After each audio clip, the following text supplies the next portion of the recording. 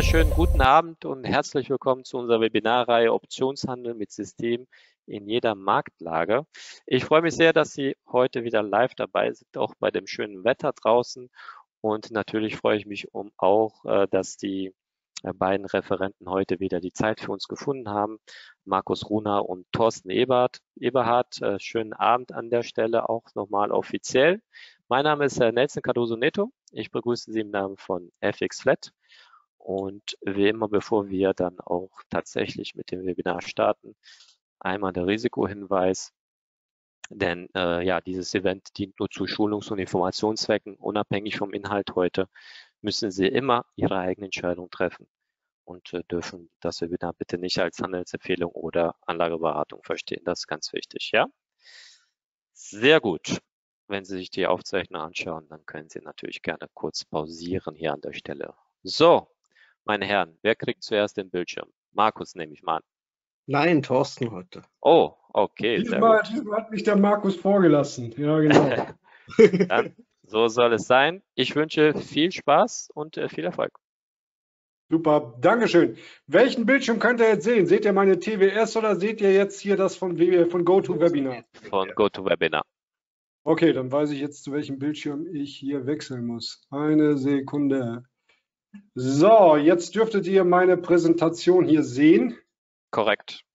Sehr gut, sehr gut. Ja, wir haben ähm, heute ähm, Teil 2 Optionshandel mit System in jeder Marktlage. Auf der ähm, linken Seite mein Kollege, der Markus Runau, auf der rechten Seite, das dürfte dann ich sein. Und ähm, wir beschäftigen uns ja sehr viel mit Systemen, mit Plänen etc. Und da wollte ich auch direkt mal ein Subthema ansprechen, was meines Empfindens nach sehr, sehr wichtig ist. Und da wird der Markus mir gleich auch bestimmt zustimmen. Ja, den Risikohinweis, den hatten wir ja gerade schon. Ich nehme mal an, den bräuchten wir jetzt nicht nochmal zeigen, sondern wir starten direkt jetzt mit dem Thema, worum es geht. Es geht um den Cashflow und zwar, dass man den doch planen soll. Ja, was meine ich jetzt mit Cashflow? Mit dem Handel von Optionen können wir regelmäßiges Einkommen, also Cashflow, generieren. Ja, wir haben ja vermehrt die Rolle des Stillhalters, was bedeutet, dass wir Optionen verkaufen und durch den Verkauf der Optionen vereinnahmen wir Prämien. Und diese Prämien, die möchte ich doch gerne planen. Ja, und wie gerade gesagt, im Fokus, das ist die neue Maus, im Fokus steht das Stillhaltergeschäft, gerade erklärt, Vereinnahmung der Prämien durch den Verkauf von Optionen. Vielleicht noch mal ganz kurz, warum wir mehr auf die Stillhaltergeschäfte uns ähm, konzentrieren. Zum einen ist der Zeitaufwand moderat, also der kann moderat sein, sprich, es ist kein Fulltime-Job, sondern auf jeden Fall neben dem Beruf möglich. Das ist natürlich schon mal ein gutes Argument. Das heißt, das ist für jedermann machbar. Der nächste Punkt ist einfach die hohe Trefferquote. Bei den ähm, Geschäften, die wir tätigen, da redet man auch häufig von High Probability Trades, also Trades mit einer hohen Wahrscheinlichkeit, dass es Gewinner sind. Und das ist natürlich auch für die menschliche Psyche ganz angenehm, mit Gewinnen da sind wir uns ja wahrscheinlich einig, kommen wir besser zurecht als auf Dauer mit Verlusten. Der nächste Punkt, und das ist auch wichtig, das ist ja auch in dem Titel unserer Webinarreihe mit inkludiert, äh, nämlich in jeder Marktphase hier umsetzbar. Das ist natürlich wichtig, sprich nicht nur in aufwärts gerichteten Märkten können wir profitieren, sondern auch in Abwärtsmärkten als auch in Seitwärtsmärkten. Und ähm, das ist natürlich dann auch in der Umsetzung sehr variabel. Wir haben nämlich ganz, ganz viele Märkte, in denen wir traden können. Die meisten kommen ja ursprünglich aus dem Aktientrading und gehen dann in die Optionen. Dann tradet man natürlich auch gerne Optionen auf Aktien, aber man kann auch Optionen auf ETFs traden. Man kann auch Optionen auf Futures traden. Ja, da unterscheidet man auch noch zwischen den Financial Futures. Das ist zum Beispiel jetzt, wenn man eine Option auf den ES, also auf den S&P Future tradet. Man kann aber auch auf Rohstoffe traden. Das ist ja das, was ich also auch ganz gerne mache. Das heißt, ich trade dann Optionen auf Rohstoff-Futures. Auch wirklich einschlagendes Argument ist die überschaubare Komplexität. Ja, man kann natürlich alles sehr komplex machen. Ja, der ein oder andere, der hat mehr Lust auf Komplexität, aber ähm, das ähm, zeigt ja auch der Trade Scanner von Markus. Das sind ja ähm, im Schnitt eine Handvoll von verschiedenen Optionsstrategien, die definitiv ausreichen, um auch regelmäßig ähm, Prämien zu vereinnahmen. Und ähm, wichtig hierbei natürlich auch, wenn die Komplexität überschaubar ist, dann ähm, verliert man natürlich auch weniger schnell die Übersicht.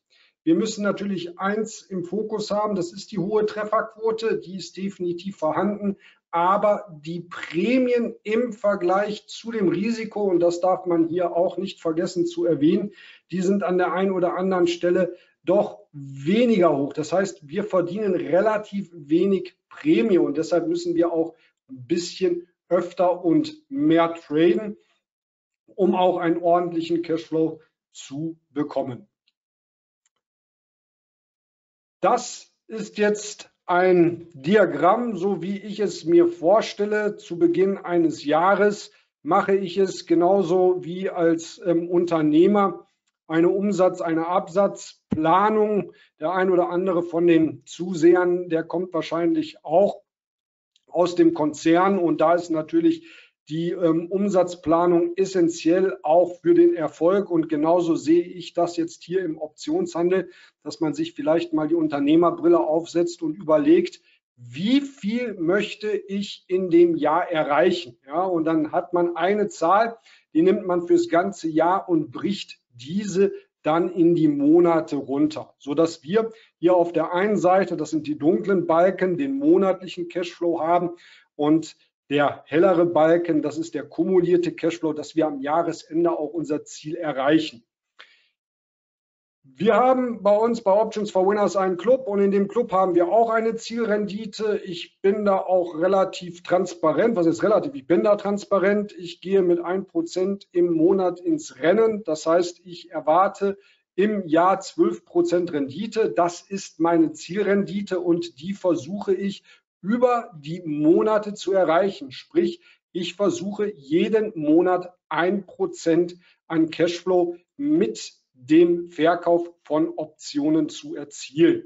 Ja, und da gehe ich auch sehr, sehr konservativ ins Rennen. Ja, das heißt, ich habe den ganzen Monat Zeit und das bedeutet auch, ich brauche jetzt nicht unbedingt am Anfang des Monats einen riesen Aufwand treiben, sondern ich plane immer wieder in die Zukunft. Das heißt, wenn ich davon ausgehe, dass ich eine Option mit einer Laufzeit von 60 Tagen verkaufe und meine Erfahrung mir zeigt, dass ich im Schnitt nach der Hälfte der Laufzeit diese Prämie, die ich mir laut Regelwerk gesetzt habe, erreicht habe, dann ist das natürlich auch so, dass ich diese, diesen Trade für den Folgemonat mit einplane. Und das mache ich dann sozusagen mit all meinen Trades. Ich habe früher immer Anfang eines jeden Jahres einen Tesla-Trade gemacht und dieser Tesla-Trade, der ging von, also ich habe den im Januar eröffnet und ich habe Verfall Ende des Jahres gemacht. Das war halt ein Lieb, eine langlaufende Option und die hat mir im Schnitt immer, und da kann ich mich gut dran erinnern, 500 ähm, Dollar gebracht und das war auch ungefähr die Jahresgebühr für mein Fitnessstudio. Und so bin ich immer wieder auch auf Optionen gestoßen, weil ich gemerkt habe, ich kann die Optionen direkt verwenden, um schlussendlich auch meine Ausgaben damit zu begleichen oder vielleicht sogar auch Kredite mit zu bezahlen. Das ist natürlich ganz nett, wenn man sich jetzt einfach mal überlegt, man kauft sich eine Immobilie, eine Wohnung und hat beispielsweise eine Abtragung, eine, also eine Zahlung des, des Kredits von monatlich 300 Euro, dann kann man natürlich auch überlegen, kriege ich das vielleicht sogar über meine Option hin, dass ich mir dann schlussendlich eine Wohnung mitfinanziere.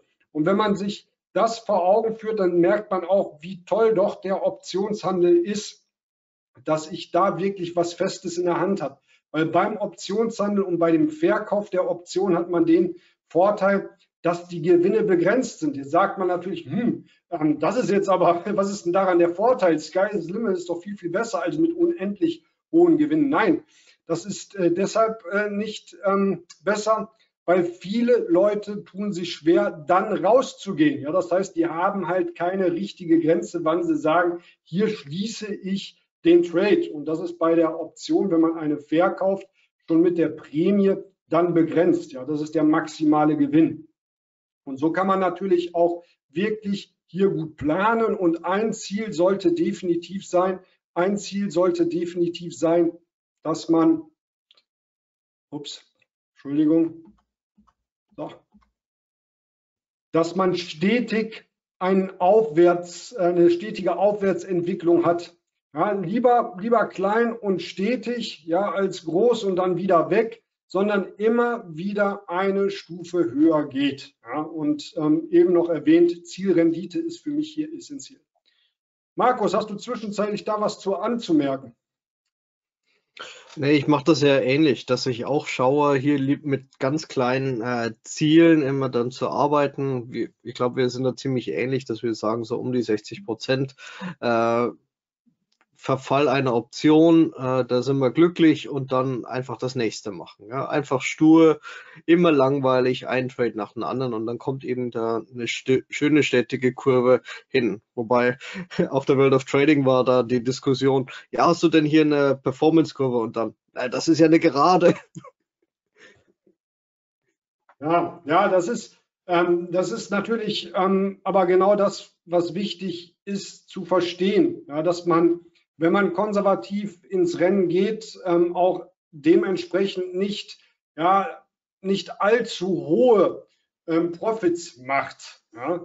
Ähm, ich backe lieber kleine Brötchen, aber ich habe dann die Brötchen und mache das sicher und immer wieder. Und ähm, selbst später, wenn man größere Konten tradet, ähm, da kann ich nur ähm, ein Zitat, das ist der von Dr. Dr. Zittelmann, der sagt es ja auch, ja, der ist ja hier dieser Immobilienmann. Ähm, dass ähm, ab einer gewissen Kontogröße ähm, der Kapitalerhalt an, an erster Stelle steht. Ja, und äh, dann das Wachstum. So, so eingegrenzt würde ich das jetzt nicht sehen, aber trotzdem, denn man darf eins nicht vergessen, dass jeder Verlust, den man macht, dem Trader, dem Optionshändler Werkzeug wegnimmt. Aber mit jedem Dollar, den man oder jedem Euro, den man zur Verfügung hat, kann man halt mehr traden. Und das ist natürlich dann auch wichtig zu wissen, dass man da auch sehr sensibel mit umgeht, mit seinem Risiko- und äh, Money-Management. Ja, wie gehe, wie gehe ich jetzt davor? Ähm, das, wir, das ist beim, beim Markus äh, auch das Gleiche. Man hat ähm, natürlich und äh, hier ähm, mit einer Strategie, die pro Trade 100 Dollar bringt. Das heißt, ich bekomme für jede für jeden Trade hier, jeder schwarze Block ist sozusagen ein Gewinner und der graue, das ist ein Verlierer. Mein Regelwerk hier hat gesagt, ich gehe bei 75 Prozent Gewinn raus, deshalb 75 Dollar Prämie im Gewinn. Und auf der Verlustseite gehe ich bei 200 Prozent raus. Ja, das heißt, wenn ich 100 Dollar Prämie bekomme, gehe ich bei minus 200 Dollar dann raus. Das sind meine Verluste. Und die Statistik und auch meine Dokumentation, äh, die ich dann führe, hat mir gezeigt, dass ich im Schnitt 80 Prozent Trefferquote bei dieser Strategie habe. Und dann sehe ich am Ende, dann sehe ich am Ende, wie viel habe ich im Monat in Summe Profit gemacht. Und das sieht man hier. 400 Dollar war die Prämie, die man erzielt hat bei, und das ist jetzt wichtig, bei was für einer Prämie, die man originär verdient hat. Ja, man kriegt ja die Prämie immer direkt zu Beginn. Das sind ja jetzt hier 20 Trades und 20 mal 100, weil jede, jeder Trade hat ja zu Beginn 100 Dollar gebracht, sind dann sozusagen 20.000 Dollar, die man an Prämie verdient hat, wobei am Ende des Monats 400 übrig geblieben sind. Und 400 von 2000, das sind jetzt 20 Prozent. Und damit kann ich natürlich jetzt wieder planen. Ja, wenn ich dann sage, die Strategie A bringt ungefähr 20 Prozent von der eingesetzten Prämie in Profit, dann kann ich das natürlich für meine Cashflow-Planung gut verwenden. Das sind dann halt wirklich auf Basis von der, ähm, ähm auf Basis meiner, auf Basis meiner Erfahrung, auf Basis meiner Trades habe ich dann das hier auch umgesetzt und das kann ich natürlich dann ähm, wie gesagt, verwenden für meine Planung für die Zukunft. Und das ist halt ganz wichtig. Ich muss das wirklich planen. Es muss jetzt nicht ins Stein gemeißelt sein, aber es sollte auf jeden Fall so sein, dass ich jetzt hier mit unterschiedlichen Strategien unterschiedliche Blöcke an Prämien generiere, so dass ich am Ende auch die Zielrendite erreicht habe. Und ich habe jetzt einfach mal exemplarisch ein paar grüne ähm, Prämien sozusagen hier draufgesetzt. Das sind die Prämien, die ich mit den unterschiedlichen Strategien verdient habe. Und dann weiß ich, aha, okay, ich schaffe es damit 500 Dollar zu generieren. Und das ist etwas, wo ich dann sage, das kann ich dann immer und immer und immer wieder machen. Und da habe ich dann die Substanz. Das soll jetzt nicht heißen, dass ich alles verplane. Ja, das sind natürlich Strategien, die kommen spontan. Ja, wenn ich jetzt irgendwas sehe ähm, am Chartmuster, da ist gerade was wirklich Attraktives, was jetzt keiner Strategie hier zugehörig ist, dann mache ich das natürlich trotzdem. Das ist klar. Nur wichtig ist einfach, dass ich einen Großteil meiner Substanz, welche ich im Monat erzielen möchte, schon vorher verplane. Ja, damit ich auch wirklich erfolgreich weiterkomme. Die Empfehlung 3612, was soll das heißen? Ich würde mit der Zielrendite, also wenn man anfängt und hat noch nicht mit Zielrenditen gearbeitet, würde ich am Anfang immer die Hälfte der für sich selbst festgelegten erwarteten Zielrendite nehmen. Sprich, wenn man ein Prozent hat, würde ich drei Monate 0,5, dann sechs Monate 0,75 und dann zwölf Monate 1. Und wenn das wirklich alles erfolgt ist, dann kann man natürlich auf der einen Seite die 1% natürlich vortragen oder sagen, ich kann jetzt was ändern. Aber dann hat man sich schon mal so eingefahren. Ja, dann hat man auf jeden Fall sich selbst schon gezeigt, dass man das schafft. Und das kommt halt nur, indem man es auch wirklich macht und nicht äh, vor sich hinschiebt, sondern einfach jetzt sagt, morgen fange ich an, für den März zu planen und ich gucke mir mal an, was ich in der Vergangenheit gemacht habe. Jetzt führt der ein oder andere keine Dokumentation, kein Trading Journal, aber man kann natürlich auch bei der Trader Workstation, das ist ja die Handelsplattform, die uns hier auch FX Flat zur Verfügung stellt, wo wir ja traden, ähm, kann man den Handelsverlauf sich angucken. Man kann aber natürlich auch in die Kontoverwaltung gehen und sich da die Reports, die Berichte rausziehen und dann auch mal gucken, was man in der Vergangenheit gemacht hat, weil man die, die wenigsten wissen wirklich, besonders die, die viel und planlos traden, was alles gemacht wurde und was nicht. Und man, was einem wesentlich auffallen wird, ist, dass man unbewusst schon immer irgendwelche Strategien dauerhaft führt und immer die gleiche Prämie im Schnitt erzielt. Ja, das ist mir aufgefallen ähm, aus meiner Erfahrung, als ich früher noch Einzelcoaching gemacht habe, dass bei vielen doch mehr Plan ist, zwar unbewusst als äh, selber gedacht. Ja, die meisten sagen immer, ich bin planlos, ich weiß gar nicht, was ich mache, aber da ist schon, also diese Routine, die kommt irgendwie und das muss man halt dann einmal dokumentieren und dann auch ein bisschen gezielter vorantreiben. Der nächste genau, Punkt, das, äh, was ähm, du da ist jetzt der, dieses, äh, dass die Rendite, äh, dass, de, dass man da erstmal tiefer schießen soll. Man kann mit dieser ganzen Strategie natürlich auch mehr Rendite machen, mhm. aber es ist immer sicherer, erstmal ein bisschen tiefer anzufangen und dann diese Konstanz reinzukriegen. Ja, ähm, de definitiv. Aber ich meine, Markus, den, den, den, den Marathon, den fängst du ja auch nicht. Also wenn du, wenn du, wenn du als Ziel einen Marathon hast, ja, hm. und, und du bist untrainiert, dann versuchst du ja auch nicht direkt, äh, direkt am Anfang die 42 Kilometer zu rennen. Ne? Du fängst ja auch an. Ja genauso. und genauso würde ich das auch machen, weil, und da sind wir wieder bei der Psyche, und das, das kann man halt nicht oft genug sagen. Man muss Selbstvertrauen bekommen. Ja? Man muss sich das selbst auch zutrauen, dass man es kann. Und das kriegt man, long story short, kriegt man wirklich nur hin, indem man sich auch Ziele setzt, die man erreicht. Ich weiß, alle sagen immer, mach Ziele, die man nicht erreicht, dann gehst du ganz weit rein. Das ist beim Trading hochgradig gefährlich, ja, weil dann macht man mal was und das geht voll in die Hose. Und besonders dann, wenn man in den Anfängen ist, dann lässt man es nachher sein, schiebt alles auf den Markt. Dabei lag das äh, äh, an der eigenen Person. Deshalb ähm, bin ich auch voll bei dir. Ich würde immer mit kleinen Zielen am Anfang anfangen und nach dem Plan 3612 ist es ja genauso, dass das halt eine längere Story ist, die man leider gehen muss, bevor man da auch wirklich gut wird. Natürlich gibt es welche, die trauen sich sehr viel zu und können das auch machen, wenn es klappt. Alles gut. Ich rede aber ähm, davon, dass der, dass der Mensch einfach auch ein, eine Gewohnheit braucht und die er nur dann bekommt, wenn er auch stetig dieses Ergebnis auch bestätigt bekommt. Und hier beim nächsten, nächsten Punkt, Punkt 3, ähm, nur replizierbare Strategien mit klarem Regelwerk. Ja, replizierbar, ich will einfach nur Strategien, die ich halt immer wiederholen kann. Ja, ich will jetzt keine Strategie, die jetzt ein Maßanzug ist, äh, welchen ich nur trage, wenn ich äh, das Gewicht von 73,2 Kilo habe und äh, Schulterbreite von 1,10. Nee, also, sondern ich will wirklich hier etwas haben, was ich immer und immer wieder machen kann. Und natürlich mit einem klaren Regelwerk. Es soll nicht so sein, dass man sich bei jeder, bei jedem Trade die Frage stellen muss, was mache ich, wenn das so ist? Was mache ich, wenn das so? Sondern von vornherein, du hast es gerade gesagt, bei dir in manchen Strategien mit 60 Prozent rausgehen. Bei mir sind es bei, bei paar Strategien mit 50, bei manchen mit 75, dass man das aber auch klar weiß. Ja, die Fragen sollten vorher geklärt werden, nicht nachher. Und da sind wir auch beim nächsten Punkt. Äh, man sagt zwar, ähm, Gewinner erkennt man am Start, Verlierer auch.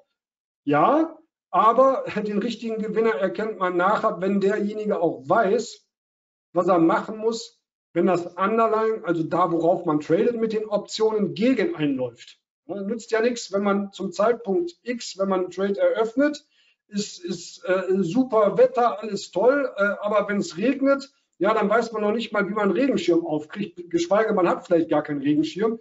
Ähm, das muss natürlich vorher geklärt werden.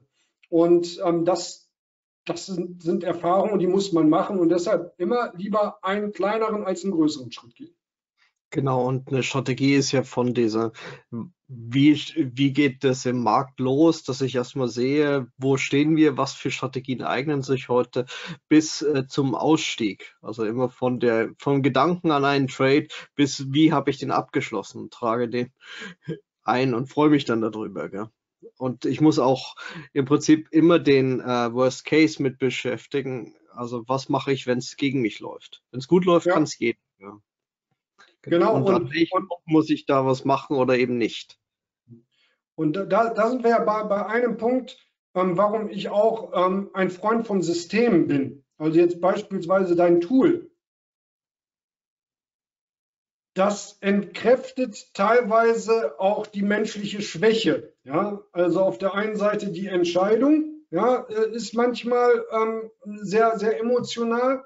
Die wird ähm, dadurch ähm, in Anführungszeichen von Trade Scanner dann übernommen.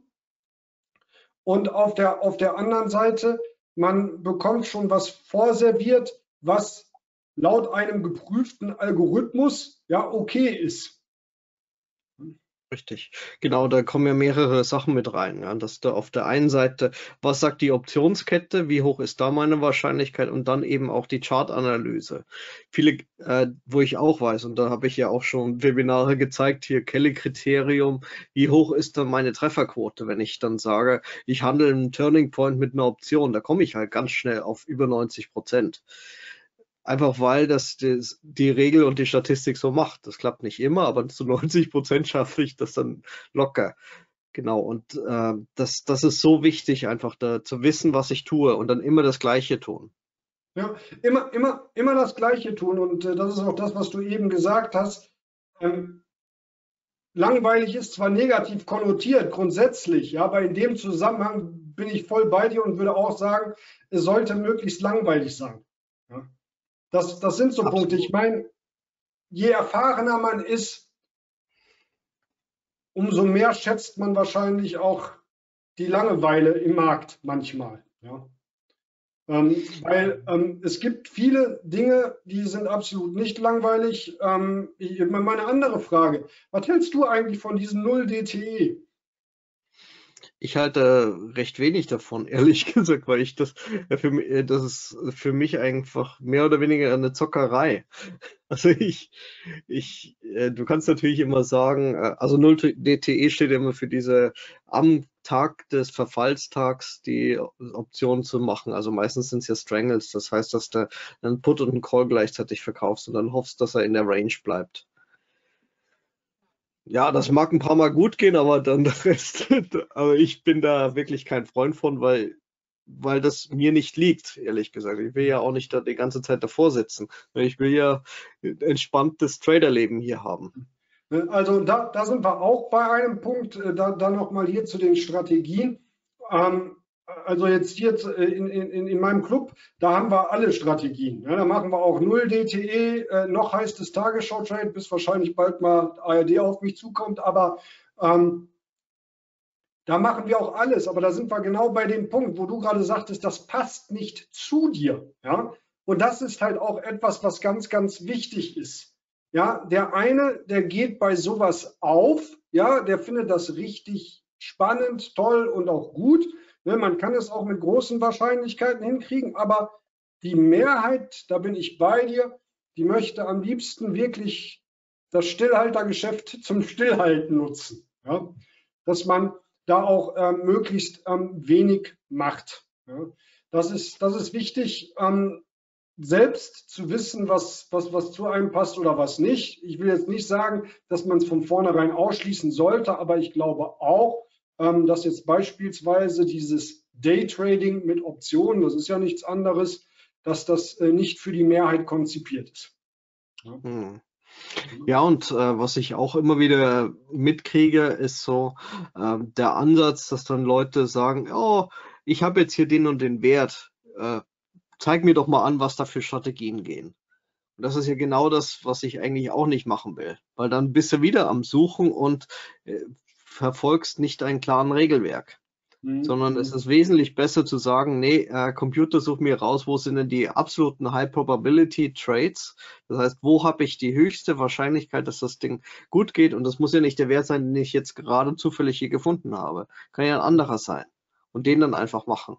Aber, aber Markus, man muss auch sagen, wenn wir jetzt wieder von diesen High Probability Trades äh, äh, reden, ja, ähm, viele begrenzen das äh, immer nur aufs Delta, was ja falsch ist. Ne? Also Delta, ne, für, für all jene, die das äh, vielleicht zum ersten Mal hören, das ist so eine Sensitivitätskennzahl einer der großen Griechen. Und ähm, die sagt indirekt aus, wie groß die Wahrscheinlichkeit ist, dass man verliert oder dass man gewinnt. Jetzt einfach formuliert, wirklich ganz einfach formuliert. Ähm, da gehört aber noch einiges mehr dazu. Ja, da gehört jetzt nicht nur dazu, ähm, dass man ähm, sich das Delta anguckt, sondern ein ganz, ganz wichtiger Faktor, den man nicht vergessen darf hier im Optionshandel, ist die Volatilität. Mhm. Ja, und dann, äh, was, was ich immer sage, ist auch die Trendrichtung zu erkennen. Also ja. Also, wenn man das nicht sieht. Ja, dann, aber äh, vollkommen richtig. Was nützt dir das Delta, was dir eine Wahrscheinlichkeit theoretischerweise gibt? Ja, äh, wie groß die Wahrscheinlichkeit ist, das, aber man tradet sozusagen in die falsche Richtung. Ja? Dann, dann, dann, dann nützt das Delta diese Aussage nämlich auch gar nichts. Ja? Absolut. Also, das ist also Trends erkennen, glaube ich, ist mit das A und das O erstmal damit anzufangen, geht das Ding hoch oder runter ähm, und wo sind mögliche äh, Wendepunkte oder sowas. Ich sage immer meiner Tochter, die muss sofort erkennen, ist das ein Aufwärtstrend oder ein Abwärtstrend mit ihren acht Jahren. Das, das kann keine große Raketenwissenschaft sein, sondern muss klar erkennbar sein. Das, das, das, das finde ich gut. Äh, also schon, also schon direkt die Tochter so rein, ranzunehmen, das ist gut. Ähm, was, was anderes, kann deine Software, ne, wir, wir kennen das ja auch immer, diese Support Resistance, ne, diese Unterstützung und die Widerstände. Werden die da bei dir auch eingezeichnet? Ähm, ich habe nicht diese klassischen Support und Resistance Areas. Äh, mit den Hoch- und Tiefpunkten, also was ich definitiv noch machen möchte irgendwann, ist ja, dass, dass ich auch so diese Trendlinien, wie ich sie im Magina Trader programmiert habe, dann auch mal drin habe. Dann sieht auch jeder noch den Trend noch leichter. Ähm, aber was ich nutze, ist die Open Interest Levels. Das heißt, mhm. dass ich die nächsten 60 Tage sehe, wo stehen denn äh, besonders viele Optionsverkäufe an. Und die Positionen werden ja auch äh, verteidigt oftmals. Und das ist eigentlich das Spannende. Ja, ähm, ne, also da kann man ähm, vielleicht ähm, auch noch mal ähm, kurz ähm, was, was zu erklären. Wir haben ja jetzt hier einen Kurs, ja, und dann haben wir ja, ich sag's mal so, hier unten auf der Seite verkaufen wir Putz. Ja, wenn wir jetzt unser Stillhaltergeschäft machen und auf der Oberseite verkaufen wir unsere Calls. Mhm. Und jetzt gibt es ja diese Open Interests und diese kann man natürlich auch nutzen, Beispielsweise als Antwort auf die Frage, wo soll ich meine Strikes setzen? Ja, wenn man sich jetzt Tesla anguckt, ich weiß jetzt nicht, wie viel äh, das jetzt ist, aber ähm, war vor kurzem bei 135. Ja, und dann kann ich natürlich gucken, jetzt bis übernächsten Monat, ist glaube ich dann der 21. Ähm, April ähm, der Verfall der monatlichen Option, guckt man sich dann an, beispielsweise, was kriege ich für eine 135er verkaufte Put-Option auf Tesla. Ja, wenn man jetzt beispielsweise bullish geht. Hm. So einfach kann man es sich theoretisch auch machen. Ja. Beziehungsweise dann eben auch noch äh, sagen, okay, ich gehe noch ein klein wenig drunter und habe noch ein bisschen mehr Sicherheit. Ja, ja.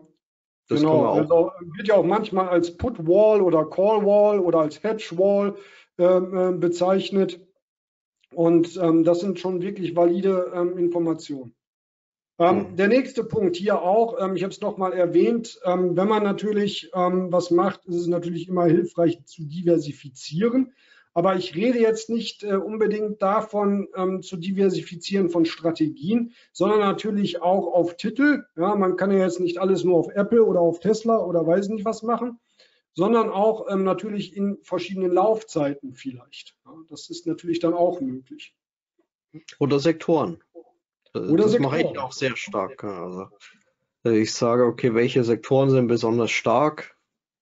Welche sind Outperformance-Werte, welche gehen besonders gut und dann eher in diese reingehen und dann nicht alles auf einen Sektor.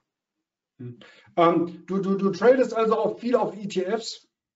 Nein, das nicht, sondern äh, was ich mache, ist, dass ich mir anschaue, welche äh, Sektoren laufen besonders gut und finde ich da drin denn irgendwelche Outperformance-Werte, das heißt, die nochmal besser sind als dieser Sektor und gibt es dafür Optionsempfehlungen. Äh, äh also beispielsweise, du nimmst die, du nimmst die Luftfahrt, ja, und ähm, dann siehst du auf einmal, dass Delta Airline äh, von der Peer Group äh, am attraktivsten ist. Richtig. Und dann, und dann suche ich nur noch ein Einstiegssignal und gut ist. Ja. Super. Super. Und das macht halt ein, das Leben einfach. ja. Nee, nicht, nicht, Wenn der ganze nicht Sektor gut läuft und dann Einzelwerte, dann macht es natürlich besonders viel Spaß. Ja, ja. Sehr gut. Ja, sollen wir mal ähm, bei dir, sagen wir mal bei dir einen, einen Wert raussuchen, ja, dass wir jetzt sagen, von wegen heute, heute wurden ja die Inflationskennzahlen in den USA kommuniziert. Ähm, 6,4, siebter Monat in Folge sind Inflationszahlen gesunken, aber weniger als erwartet. Ja, man hat auf 6,2 gehofft. Und was ja heute zu sehen ist, ist ja ein äh, Hoch und Runter an der Börse. Jetzt sind wir gerade wieder 0,5 Prozent negativ auf dem S&P 500. Ähm, wie gehst du mit solchen Situationen um? Ich mache ja, ich mache ja immer erst diese Tagesanalyse, Wochenanalyse. Ich komme mal schnell hier rüber. So, jetzt äh, bloß den richtigen Monitor. Wir sehen jetzt dein Desktop. Desktop man, ja. Jetzt ja. seht ihr, oder? Agina Trader. Ähm, genau, da sieht, sieht man ja erstmal, okay, Wert bildet jetzt gerade ein Doji an. Aber wir haben hier höheres äh, Hoch gebildet, hö äh, höhere Hochs und höhere Tiefs. Das ist erstmal positiv. Ähm, ich gehe dann immer erst ins Marktmodell bei mir rein und sehe, dass eben auf den Indizes, wo stehen die? Die haben, sind gelb, das heißt, wir haben hier eine höhere Volatilität als normalerweise, ähm, sind aber eher im bullischen Bereich angesiedelt als im äh, bärischen. Und dann ähm, gehe ich hier in die Sektoren rein und dann wird mir sofort gesagt, okay, welche Sektoren sind denn jetzt besonders äh, gut? Und äh, wenn die zu weit oben sind, äh, kann es dann wieder sein, dass es dreht. das ist, das ist ein super Indikator immer. Ähm, also der war jetzt vor ein paar Tagen, ich gehe mal ganz kurz zurück, da waren die hier zum Beispiel hier oben und dann weiß man, okay, der dreht dann gleich wieder. Dann brauche ich da keine Position mehr aufbauen. Aber wenn ich sage, hier in diesen mittleren Bereichen, ähm, zum Beispiel hier im Technologiebereich, kann man sich da was anschauen. Da werden mir direkt die, äh, die äh, Sachen empfohlen, was auch Sinn macht. Das heißt, ich gehe da einfach rein, suche und schon habe ich meine Trades für heute. Da sehe ich dann sofort, okay, was für Werte sind das, wie gut äh, stehen die da. Dann habe ich hier noch ein Ranking, das heißt, in dem Ding ist es ein bisschen besser und schon habe ich hier meine Trade-Empfehlung. Also total einfach, denn wir sehen sofort äh, den Kurs, wie haben die Signale das letzte Mal funktioniert. Da sieht man immer, okay, wenn der Pfeil hier war, da war das Signal, die verändern sich nicht mehr und dann ist es immer hochgegangen.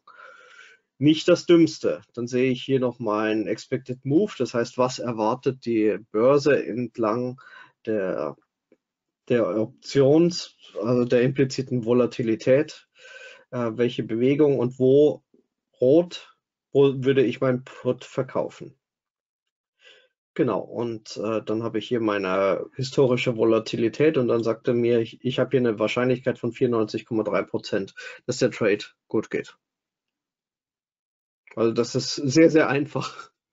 Wenn ich dann noch äh, Communication Services äh, mir anschauen will, gehe ich dann einfach hier drauf und dann äh, finde ich hier vielleicht auch noch weitere Werte. Zum Beispiel den hier. Schauen wir uns das mal an. Hier ist es mir ein bisschen gappy. Ähm, Vielleicht nehmen wir was anderes, den anderen, den CSA. Der schaut wieder wesentlich ruhiger aus. Macht Sinn. Ich sehe dann sofort hier meine Open Interest Levels, was wir gerade geredet hatten. Das heißt, ich bin hier in guter Gesellschaft auch drin, ähm, weiß, was ich ungefähr verdienen kann. Hier ist natürlich nicht viel, das sind jetzt 31 Cent, äh, was äh, drin steht. Ähm, das kann, äh, dann kann ich ja auch zwei machen. Das geht ja auch. Ja. Und dann eben, man sieht ja dann von der annualisierten Rendite, was setze ich an Margin ein und so. Da brauche ich nicht groß rechnen können, der zeigt mir eigentlich alles an. Also so gehe ich davor. Wenn wow. ich jetzt sagen möchte, hm? Ja. Wir können auch noch mal hier kurz äh, zurückgehen. Wir hatten ja hier noch ein paar mehr Consumer Cyclical, war auch noch in der Liste. Können wir uns auch nochmal anschauen. Consumer Cyclical. Haben wir wieder noch ein paar mehr Werte. Und es wird immer sortiert sofort nach, äh, was kann ich verdienen. Da steht dann nochmal Lastpreis. Ähm, hier ist das vielleicht ein bisschen höher. Genau. Aber ETFs e kannst du bei dir nicht raussuchen. Äh, Im Prinzip schon. Ähm, doch, das ja. geht auch. Ähm, Genau. Ähm, die kann ich mir hier anzeigen lassen. Ich baue das jetzt noch die Tage, dass dann auch, zum Beispiel, wenn es ein S&P rausgibt, dass dann auch eine vernünftige Empfehlung hier nochmal reinkommt. Mhm. Ähm, prinzipiell, wenn er hier ein Signal bringt, dann äh, zeigt er die auch an. Das geht schon. Bloß die Wahrscheinlichkeit für Signale im ETF sind einfach oftmals nicht so hoch. Aber das kommt. Und äh, was eben auch noch ähm, jetzt dazugekommen ist, bin ich ganz stolz drauf. Hier kann man nochmal auf den Knopf drücken und dann kriegt man jetzt die aktuelle Kerze noch und dann wird er auch nochmal hier angepasst mit dem Fernwert. Das heißt, man muss trotzdem noch in der TWS schauen, wo stehen wir. Wir sehen das neue Delta, was sich aus dem Preis entwickelt hat. Und dann gehe ich einfach in die TWS, schaue mir das an und sage, ja, mache ich oder mache ich nicht. Aber meistens mache ich dann. Ich meine, fairer, fairer Wert ist ja, ist ja relativ äh, äh, schwammig. Ne? Man, man, man kennt das ja von, von Internetseiten. Da geht man auf fünf Seiten und hat fünf verschiedene faire Werte. Ähm, nach was für einem Rechenmodell gehst du bei dem fairen Wert vor? Ich gehe nach Black Scholes vor. Mhm. Genau, und äh, auf Basis von der historischen Volatilität, die hier auch noch mit berechnet wird, direkt. Okay. Ja. Wie machst du es? Also ähm, ich bin eigentlich, ähm, wenn ich ehrlich bin, gar nicht so ein Freund vom fairen Wert. Also ähm, ich finde es äh, klar äh, absolut hilfreich, ähm, aber für, für, für mich war, also für mich ist das kein Entscheidungskriterium. Nee, ist es nicht, aber ich sehe dann ungefähr, in welche Richtung sollte der Preis der Option jetzt ja. gegangen Ja, ja um mehr das, nicht, ja, das kann immer noch, noch ein bisschen anders sein, das ist klar. Ja. Aber man weiß zumindest, okay, anhand der Tage, was noch übrig ist, sollte sie ungefähr in dem Bereich sein. Mhm. Das klappt erstaunlich gut, wenn man das hier so durchgeht, äh, wo dann oftmals der faire Wert ist. Und also gerade bei größeren äh, Werten wie eine Intel oder sowas, da sieht man, dass die Unterschiede relativ gering sind oftmals. Bei mhm. anderen Werten ist es ein bisschen. Kannst du mal Tesla machen? Tesla kann ich natürlich machen, ja. Muss man mal US mit reingeben. Mhm. Er hat jetzt, äh, muss man schauen. Ähm, das ist aber jetzt nicht die äh, Tesla-Option hier drin. Das mhm. ist jetzt hier ein bisschen blöd. Technology ist ja das. Und ich muss, ähm, und ich muss hier wahrscheinlich auch noch Signale ausstellen und dann noch die Strike Range ein bisschen hochnehmen, weil wir reden ja hier nicht von 5 Dollar Aktien. Schauen wir mal, ob wir hier was finden. Kann sein, dass wir es finden oder nicht. Ja. Ist, der, ist, der, ist der Technology oder wo steht der oder Consumer? Nee, Consumer. Was machen die? Nee, nee, die finden Ich stelle mich gerade ein bisschen doof an. Mal, ja, dann. Tesla. Also ich kann es jetzt hier nicht so einfach suchen, das ist genau das, was ich. Ja doch, Consumer Cyclical. Doch. Consumer Cyclical. Da sind die drin. Ja. Und dann müsste es so drin sein, wenn es mal. Ach, siehst du. Immer sogar was. Ja. Genau. Aber man sieht hier wirklich eine Wand von Calls obendrauf. Ja, weil der, der große grüne Balken, bei wie viel ist der? Der die große grüne Balken, der hier, bei um die 130. Ja, 130. Ja. Hm. Genau. Also so mache ich das hier. Oder andere Strategie, die ich halt sehr gerne fahre, ist einfach meine Strangles. Ähm, da brauche ich dann gar nicht groß im Marktmodell schauen, weil ich so und so nur Werte suche, die auch schön in die Seitwärtsphase gehen. Mhm. Ja, das was man natürlich trotzdem sagen muss, beim Strangle ähm, ist die Margin ja auch ähm, bedeutend höher, als äh, wenn du jetzt ähm, Iron Condor nimmst. Ja, ja, das stimmt, ja, genau. Genau, dann, dann wird eben auch gesucht, ne, okay, welche Werte bleiben in einer gewissen Range. Hier ist ja seit Januar, ist er nur leicht dann runtergefallen, bleibt da drin, ist im mittleren Bollinger Band ungefähr der Kurs und dann ist gut. Oder, genau. Markus, schaust du einmal in den Chat, da ist eine Frage an dich gerichtet. Ja, ähm, da wurde gesagt, ah, genau, Michael fragte, wie läuft das mit der Signallampe? Die Signallampe, das ist, das ist ein eigenprogrammierter äh, Indikator von mir. Ähm, der ist hier aufgetragen. Das heißt, äh, der geht von minus 10 bis plus 10. Und das, was ja typischerweise bei Indikatoren immer der Fall ist, ist, dass die nachlaufend sind. Das heißt, man ist meistens zu spät dran, wenn man einen Indikator sieht. Und hier ist er sogar leicht vorlaufend. Das heißt, ich wollte sehen, wenn, wenn ich jetzt hier einen Wert habe, ups, hier geht das nicht gleichzeitig, äh, wenn der äh, wenn der im Trend ist, dann ist der Wert der Signallampe Lampe normalerweise über 4. Geht dann hoch bis maximal 10 und wenn ich bei 10 bin, dann ist es äh, sehr häufig, dass äh, dann eben wieder nach unten dreht. Das heißt, wenn ich da gerade eine Position offen habe, macht es natürlich Sinn, dann zum Beispiel zu sagen, auch mal vielleicht vorzeitig zu schließen oder ich habe dann noch genug Puffer, je nachdem. Ähm, in die andere Richtung geht das genauso. Das heißt, bei minus 4, alles drunter ist abwärts gerichtet und in der Mitte ist irgendwo nicht ganz äh, klar definiert. Also sehr, sehr einfach zu verstehen. Und dann ähm, ist hier im Prinzip noch die Performance, das ist immer die relative Performance, das heißt gegenüber den nächstgelegenen äh, Sektor. Zum Beispiel haben wir hier drüber eben den S&P 500 und dann verglichen äh, zum Beispiel, dass der Technologiewert deutlich besser läuft als jetzt der S&P 500. Das sagt diese Zahl aus. Gut. Ich hoffe, ich habe Michael jetzt geholfen damit. Genau, und wie die zustande kommen, da sind sehr, sehr viele Indikatoren, die mit reinlaufen. Äh, das genaue Geheimnis mag ich da jetzt auch gar nicht preisgeben. genau. So, was, was wollen wir noch anschauen? Thorsten? Ja, ähm, das ist natürlich ähm, jetzt wirklich hilfreich. Womit würdest du jetzt, wenn wir jetzt doch mal bei dem Thema sind, ähm, Substanz schaffen mit der Prämie? Was würdest du jetzt hier aus, aus deinem Potpourri hier empfehlen?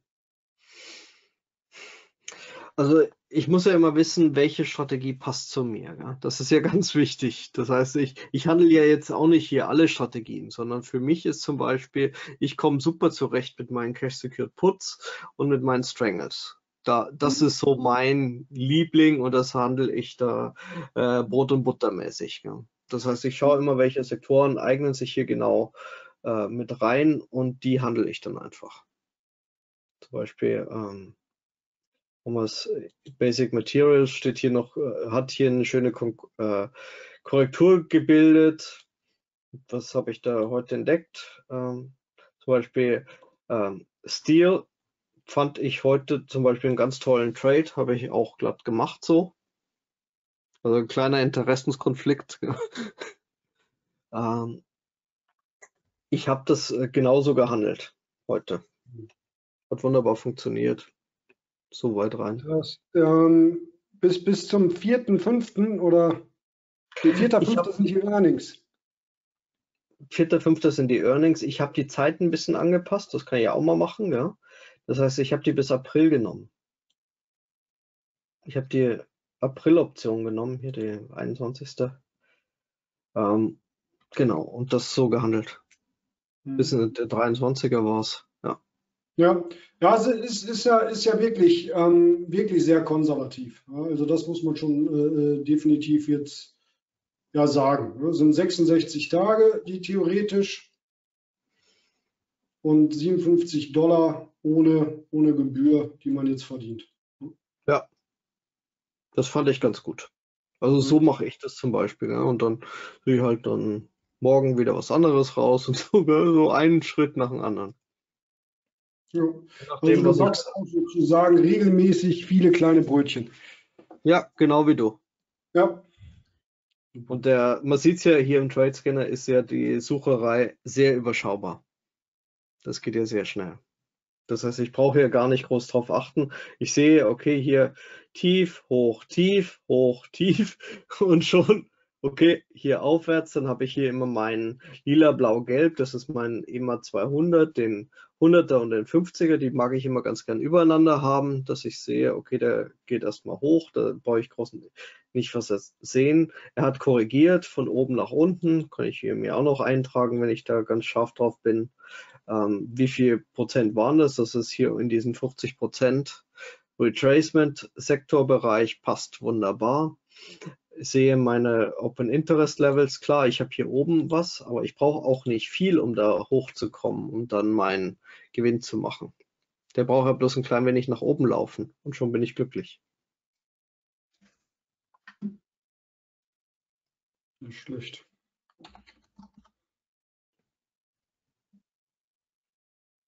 Und hier unten habe ich auch ganz, ganz viel Open Interest, was äh, mich beschützt. Und auch wie du gesagt hast, hier die Tiefs, da habe ich ein Tief, da habe ich ein Tief, da habe ich ein Tief, alles dran. Mein Ausstieg kann ich auch im Prinzip planen. Das heißt, wenn der Kurs jetzt hier runterrennen würde, dann mache ich hier das immer so, äh, dass ich dann immer sage, okay, egal wie tief er läuft, die 38 Prozent erreicht er normalerweise nochmal zurück. Also im Fibonacci Retracement. Und selbst wenn er jetzt hier runterläuft auf, äh, was weiß ich, an die 20, was durchaus passieren kann. Ja, also dann ist, äh, dass ich auf meinen Strike wieder komme, die Wahrscheinlichkeit ist wieder gegeben.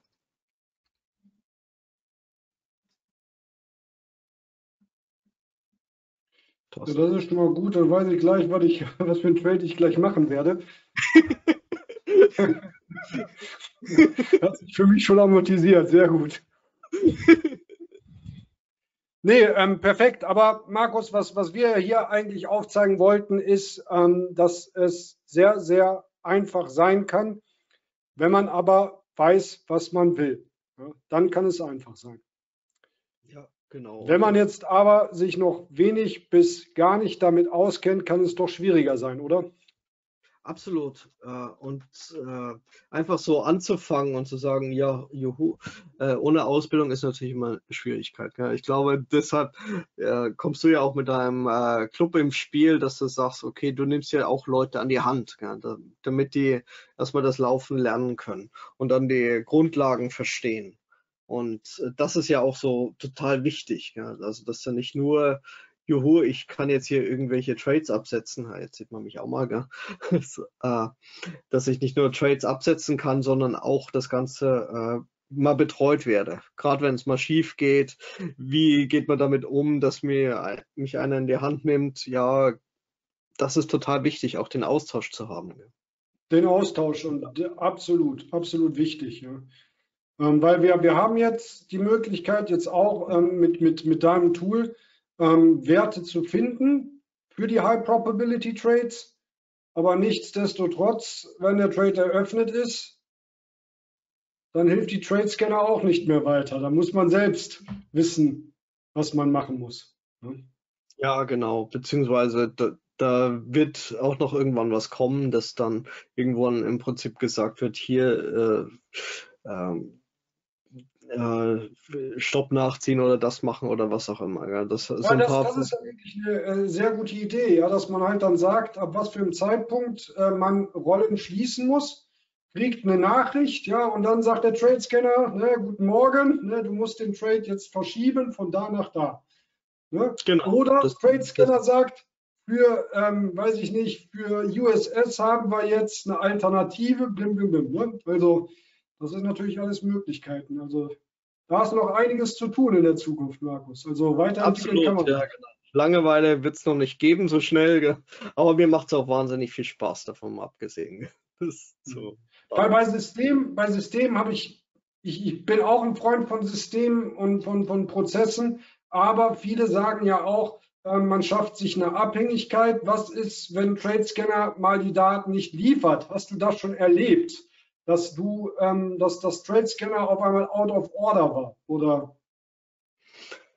Ähm, ich habe hier alles extrem redundant gebaut. Das heißt, ähm, ich habe jetzt, äh, ich habe ein neues Rechenzentrum seit ungefähr Oktober letzten Jahres und äh, bisher noch nicht eine einzige Sekunde mal out of order gewesen.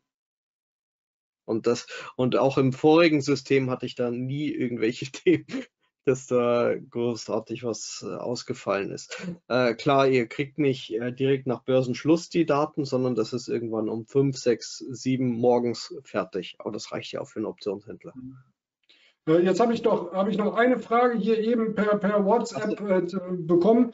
Ähm, bei dir wird ja auch die Margin angezeigt. Ja, und jetzt fragt hier ein Kollege von mir, die Margin ist doch immer abhängig vom Portfolio. Man hat doch Portfolio-Margin in der Regel. Ja, so genau mache ich es dann nicht. Ich mache es dann für den Einzelwert. Margin.